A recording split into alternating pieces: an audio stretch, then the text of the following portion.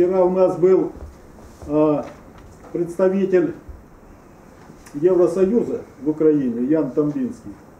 Вот он привез миллион евро. Там у нас переселенцы, Татьяна Анатольевна, кто там еще? Да сиди, пожалуйста.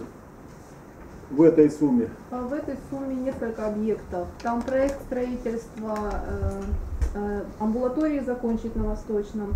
Там реконструкция социального общежития 14 миль- э, 7 миллионов на Гугеля 14.